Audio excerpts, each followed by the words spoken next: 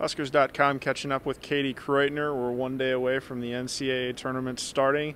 Katie, how's practice been this week for the team, and how excited is everybody to get going tomorrow? It's been great. The excitement is unbelievable through our team. Um, super exciting to have this opportunity to play in the tournament, and uh, practices have been sharp. We've had a great couple of practices um, coming off the Big Ten tournament from the weekend. I think people are even more focused now, and so practice has been great. Yeah, we're excited for tomorrow for sure how important was it also at the beginning of this week? You guys got a couple of days to rest after three matches in a pretty close proximity in the Big Ten tournament.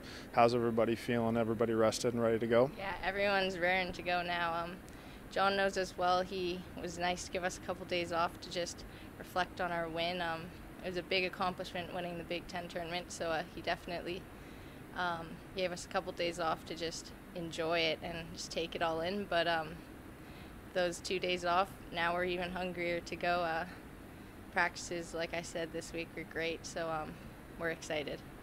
Looking back at the Big Ten tournament, can you just talk about the drive this team has had? I mean, there was no letdown after winning the regular season championship. Three fantastic matches again in the Big Ten tournament, and just how much that meant to this program to bring home a second trophy.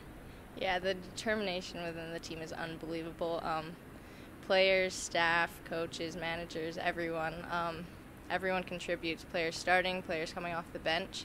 Everyone is just so determined to uh, to win the games, and our it's crazy. The character within our team is is unbelievable. Well, can you just talk about this conference a little bit? This eight teams making the field of 64 from the Big Ten.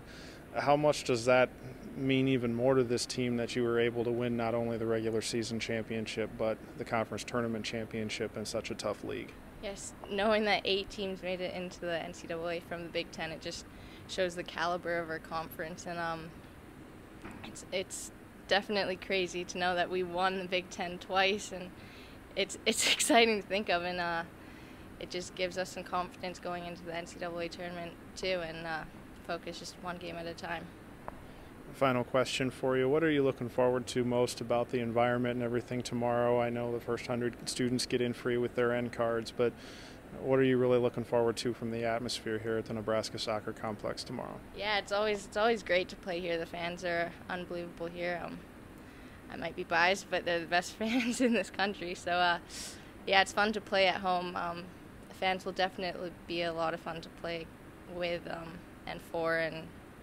yeah, the whole environment, the NCAA tournament feel, it's going to be great. It'll be uh, definitely an adrenaline rush, so uh, I'm looking forward to it. Good luck in the NCAA tournament. Thank you.